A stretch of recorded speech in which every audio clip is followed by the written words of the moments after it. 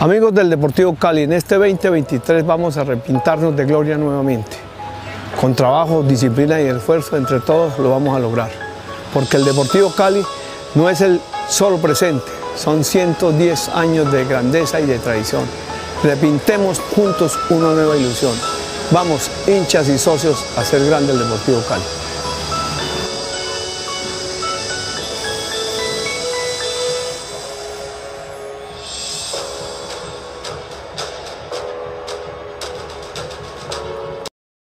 Y empezamos este video con este gran emotivo mensaje de Jorge Luis Pinto, que nos invita a todos los hinchas verde y blancos a abonarnos, a ser parte de esta nueva ilusión para el 2023 y ser unidos. Entre todos podemos sacar esto adelante.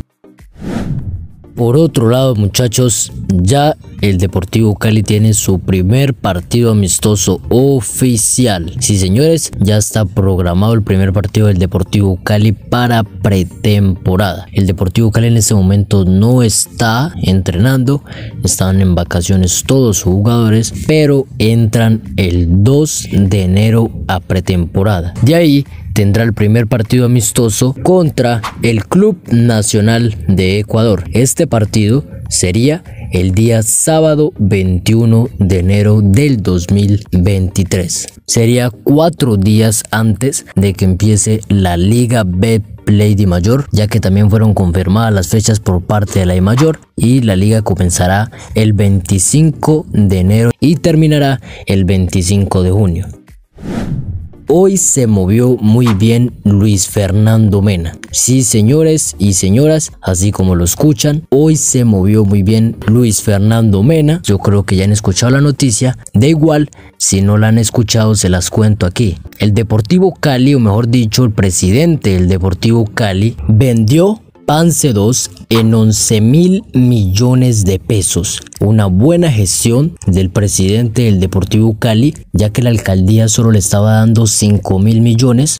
El presidente esperó, lo analizó, miró mejores propuestas y antes de que se acabe este año le darán el 80% del pago anticipado. Le darán el 80% de los 11 mil millones la verdad, un terreno improductivo para el Deportivo Cali y una muy buena plata que le entra al Deportivo Cali. Pero ustedes me dirán, ¿para qué entra esta plata? ¿Qué van a saldar? ¿Las deudas? Pues les tengo la respuesta muchachos y estos 11 mil millones de pesos, pues estos 11 mil millones de pesos se utilizarán para pagarle premios, publicidad a los jugadores que todavía les deben esa parte y además también se entregará una parte al pasivo que tiene el Deportivo Cali tan grande. Así que es de felicitar lo que hizo el presidente, ha hecho muchas más cosas de los que han hecho los demás presidentes y se le ve la actitud, se le ven las ganas de sacar al Deportivo Cali adelante. Así que con la plata de Nicolás Benedetti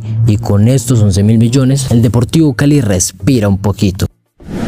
Y como último tema, que esto ya lo he hablado demasiado, pero me lo están pidiendo mucho por comentarios, he visto por ahí cómo va lo de Mantilla, que cómo va lo de Angulo. Angulo sigue entrenando en la sede, todavía no se ha arreglado entre ambas partes y Angulo simplemente está entrenando en la sede porque fue campeón con el Deportivo Cali y el Deportivo Cali amablemente le prestó la sede para entrenar en pretemporada.